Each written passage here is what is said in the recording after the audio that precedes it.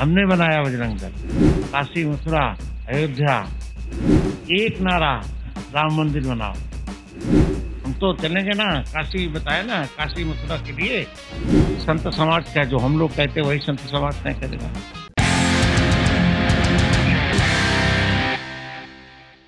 नमस्कार, मैं हूँ अविनाश और आप देख रहे हैं एबीपी अनकट इस वक्त हम अयोध्या में हैं और अयोध्या में हमारे साथ हैं विनय कटियार। विनय कटियार उस नेता का नाम है जो 1 अक्टूबर उन्नीस सौ चौरासी से लेकर अब तक राम मंदिर आंदोलन से जुड़ा रहा है। करीब करीब 36 साल का वक्त बीत गया है जब बजरंग दल का निर्माण हुआ था और तब से अब तक राम मंदिर के भूमि पूजन का काम शुरू होने जा रहा है। सर 36 साल हो गए आप लोगों को संघर्ष करते हुए। एक अक्टूबर उन्नीस सौ चौरासी, शायद ये सही उनको बजरंग दल का निर्माण हुआ था और आप अध्यक्ष बनाए नहीं, हम स्वयं के अध्यक्ष थे। किसी ने बनाया नहीं। हमने बनाया बजरंग दल। बजरंग दल आपने बनाया। जी हाँ। बजरंग दल का नारा था सेवा सुरक्षा और संस्कृति। एक नारा राम मंदिर बनाओ। बाकी सेवा सुरक्षा और ये सब अलग की बात। राम मंदिर तीन स्थान काशी मथुरा अयोध्या। ये तीन स्थान हमको चाहिए। अब उसमें एक स्थान तो हमको मिल गया। अब दो स्थानों के लिए लड़ाई लड़नी है। क्या ये नारा वहीं से निकला था जो हम लोग सुनते आ रहे हैं कि अयोध्या तो झांकी है काशी मथुरा बाकी है? हाँ। कह कह सकते हो। हाँ कह सकते हो। तो जो अभी राम एक जो आप तीन स्थान बता रहे हैं तीन में से एक स्थान को आप लोगों ने अदालती कार्रवाई के ज़रिए हासिल कर लिया है। जो अगले दो हैं काशी और मथुरा उसके बारे में सुप्रीम कोर्ट ने कहा था कि इसकी बात नहीं होगी। कैसे इसको अमल में लाया जाए? अभी नहीं ना। तो करेंगे ना, अभी हो गया। अभी माने कोई समय तो सीमा है नहीं। अब हो गया। अब करेंगे, बातचीत शुरू करेंगे। कौन सा स्थान लिया जाए, कौन से पहले न लिया जाए, अब वो देखेंगे।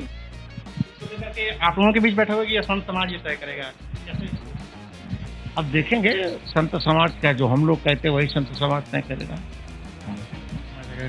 ये 36 साल के संघर्ष में कल आप भूमि पूजन में जा रहे हैं। बाकी जो इस आंदोलन के आपके सहयोगी बहुत सारे रहे हैं लाल कृष्ण आडवाणी मुरली मनोहर जोशी उमा भारती ने शायद आपने बयान सुना होगा, उन्होंने कहा है कि हिंदू तो बीजेपी की बकौती नहीं है, इस तरीके के बयान वो दे रही हैं। उनको बुलाया वो आ भी रही हैं, लेकिन वहाँ नहीं जा रही हैं। क्या है ये पुराने सहयोगी जो आपके वक्त के थे, उसमें आप जा रहे हैं, बाकी लोग नहीं जा रहे हैं? नहीं, मालूम नहीं, बहुत लोग जा रहे हैं। बहुत लोग जा रहे हैं। तमाम साधु संत जा रहे हैं। करते हैं जो पॉलिटिकल लोग थे जिन पे कई केस मुकदमे चले उन लोगों को नहीं क्या ये उम्र का हवाला दिया जा रहा है? क्या उम्र की वजह क्या नहीं उ- उम्र इसकी उम्र इसकी कोई उम्र क्या होती है? चलते रहो चलते रहो। तो है। लेकिन ये कहा जा रहा है कि मतलब कोरोना के दौरान एक कार्ड भेजा गया है अब नहीं मिला होगा। मुझे नहीं मालूम जानकारी नहीं है मुझे कोई अथेंटिक जानकारी नहीं मिली सिंह के बारे में कहा जा रहा है कि उनको कार्ड दिया गया था और फिर उन्होंने निमंत्रण मतलब आने के लिए समर्थता ज़ाहिर की। हाँ बाद में आएँगे।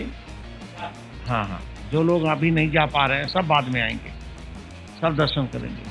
इस पूरे क- कल से जो शिलान्यास हो जाएगा उसके बाद आप इस मंदिर से किस तरह से जुड़े रहेंगे आप लोग? निर्माण से लेकर के? जुड़े रहेंगे। हम तो चलेंगे ना काशी बताया ना काशी मथुरा के लिए। काशी मथुरा के लिए जुड़ेंगे। है। हाँ। तो ये थे विनय कटियार जो कह रहे हैं कि शिलान्यास कल से शुरू हो जाएगा और उसके बाद अगला जो लक्ष्य है वो है काशी और मथुरा। इसके जो भी अपडेट्स होंगे, वो हम आपको बताते रहेंगे। देखते रहिए एबीपी अनकट शुक्रिया। एबीपी न्यूज़ आपको रखे आगे।